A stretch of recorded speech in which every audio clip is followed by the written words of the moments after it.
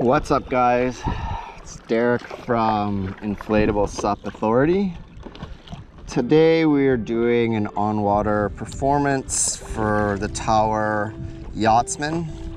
Now really I'm gonna combine this with the Tower Adventurer 2 because this is literally the same board pretty much, almost exactly. The only thing that is different is the design. Like you kind of see this is like an woodish kind of, I don't know what you call that, an orange or something? Anyway, so I have not tried this board yet and I have not stood on this board yet. So let's see what happens when I do. All right guys, so we are going to stand on the Tower Yachtsman, AKA the Tower Adventurer 2. You can see, have a tiny bit of an audience, some people fishing here. So, you know, if I fall while I'm just trying to stand on this board, you know, hear some cheers and that'll be fun. Okay, so like I said, I have never stood on this board before. This is my first time actually trying it. Um, I originally got this board from my friend Yogi. So shout out to Yogi for letting me borrow it. All right, let's get to it. Let's try to stand on the board. So like usual, we have the paddle right here. To, for a balance, make sure that the blade is not completely in the water. So then let's get to standing. Oh yeah.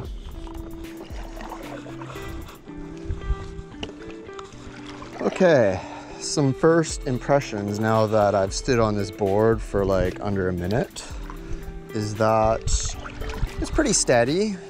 Um, you may notice that the back chop is very similar to the Nixy Newport G4 board that I just reviewed. And that's because it's shot in the same location I'm doing on the same day. This is a different part of Buntzen Lake. So we're kind of going towards the south end now. So with the tower board, it's pretty steady. And I mean, it's going on at a decent clip. So one thing that is kind of a con is that there's no deck lacing here for here or the back of the board. Ooh. Almost fell in there. Okay. There's no deck lacing, and I mean, not the biggest deal in the world, but it's kind of just nice to have, especially you have like a nice speaker or you have a water bottle because most water bottles, especially they're round. So you can imagine if I was trying to keep a water bottle on here, it would just roll off. So that's definitely a con with this. The on-water performance is pretty good. Um, I'm paddling at a clip here. It's, it's, pretty, it's fairly maneuverable. The tracking is decent, um, especially for a board of its price. I think it was about, is on sale. There's an on sale price for like something like $400 US. I'll have to correct myself as soon as I look this up because I kind of forget. But I mean, yeah, so far, my initial opinion is if you're looking for a bit of a budget board, and it's between this and like an Amazon sort of board, I'd probably choose this one. It actually, it handles fairly well. Um, we're gonna do some maneuverability tests next to see how it goes. Okay, so a major stability test that we can do is some of these backwards and forward sweep strokes. So let's see how this board performs. Also, I'm kind of at a standstill right now. Steel feels pretty stable, so I think Tower gets some points for stability for sure especially for its price. Um, my feet aren't really like wobbling or anything. I wouldn't say it's as steady as my Nixy, but it's it's not half bad. So let's do this maneuverability test here. Do a little sweep stroke. That. Yeah. So when I do that, there's definitely a little bit of like a counter twitch that I gotta do. So if you're doing those sweep strokes, you know, practice them a little bit on this board. It's definitely doesn't feel as planted into the water as the Nixy, but yeah, let's now try the forward sweep stroke.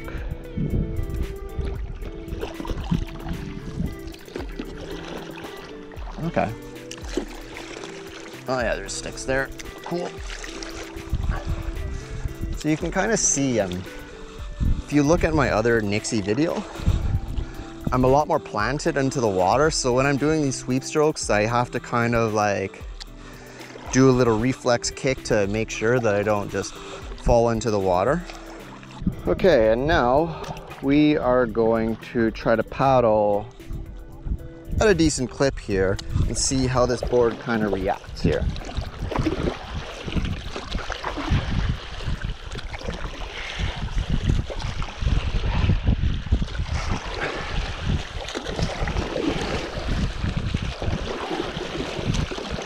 I do like how it cuts through the water just because of its pointy shape. That is actually something I do kind of miss a little bit. I do miss the board cutting through the water. It just kind of looks cool. And I will say, the tracking while doing this, not half bad at all. Like I've done one, two, three, four strokes. It's kind of tilting to the left, but still going. And also the wind is against me as well, so it might look like I'm moving like a snail. That's why. So yeah, not bad. This is also sort of like the lagoon portion of um, Buntzen Lake, which is, you know, pretty interesting kind of feel like getting transported back to Jurassic Park and you know maybe one of those like water dinosaurs will just come out and eat me or something. Yeah. make for some interesting GoPro footage anyway. So one thing I also wanted to mention was the paddle. Now the paddle is made of aluminum. You can kind of see how the blade is made. Um, I actually it's a bit heavier um, so, I mean, it's a pretty standard paddle that you would get with, you know, like 400, 300, 400 dollar paddleboard. But what I do like about it, even though it is a little bit heavier, not much, is the fact the way the paddle, the blade is designed, it's kind of designed so that it scoops water up, which I kind of find is nice. Definitely gives you a little more power per stroke if you're just casually paddling. And I also do like how this adjuster is pretty, looks pretty well made actually. Just adjust it to whatever height you want. I usually like to do around the max, so wherever it kind of tells me to go. So at this, in this case, 16 inch, 40 centimeters, well, just, just above 40 centimeters. You also see that the blade has tower paddle boards as well, which is pretty interesting. Um, does this paddle float? Well, let's find out.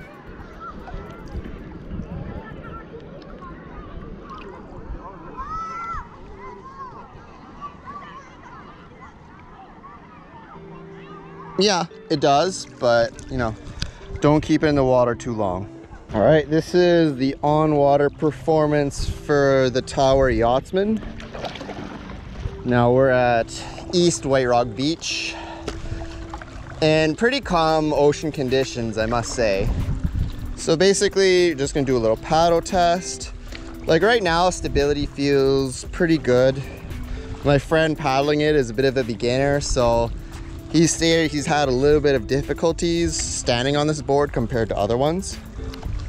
So we'll just do a little paddle here. So how it performs paddling fast.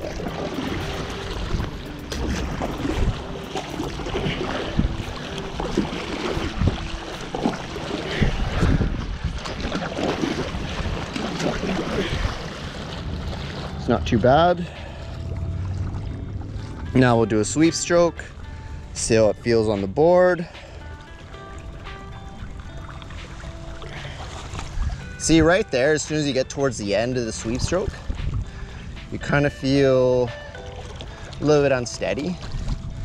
So in ocean conditions, which I must say is pretty calm, the board's not too bad, but there are steadier boards. And if you look at some of our on-water performance videos, you'll see what I mean. But overall, not too bad. Uh, definitely manageable. You just need a little bit of practice on this, I'd say, if you buy this particular board. It's not too bad. Okay, so what are my overall impressions about the on-water performance of the Tower Yachtsman slash Tower Adventurer 2 because they're the same board essentially. Um, it's pretty good. Like for its price, I'd say, yeah, uh, if you're on a budget, this would be a pretty good board to have. Um, it's I wouldn't say it's the stablest board around, but I think a beginner can definitely learn on it. Like, to be honest, for like all my years on earth here, uh, my balance has always been pretty bad. So the fact that I'm standing on this board and, you know, paddling away tells you a little bit something there. But uh, no, so you can definitely learn on this board. Um, the conditions that I would use these boards are definitely something like this, where you're in the lake. It's actually a beautiful day here, Buntzen Lake. So calm conditions. I am not sure about um, windier coastal condition type conditions, you know, where there's more waves, there's more surf.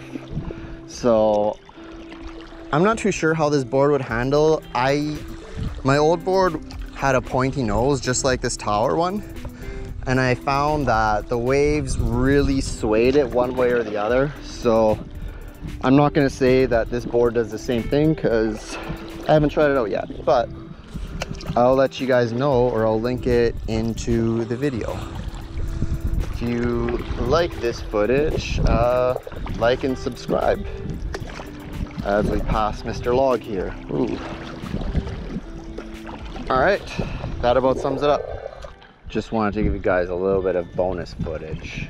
Um, just like look at the beauty beauty of this place, you know. You got like these mountains up here, full of trees. It's beautiful here, and like it's kind of funny because like over here it looks like there's nobody at this lake, but actually if you go right past these two islands, tons of people. You just don't hear them yet.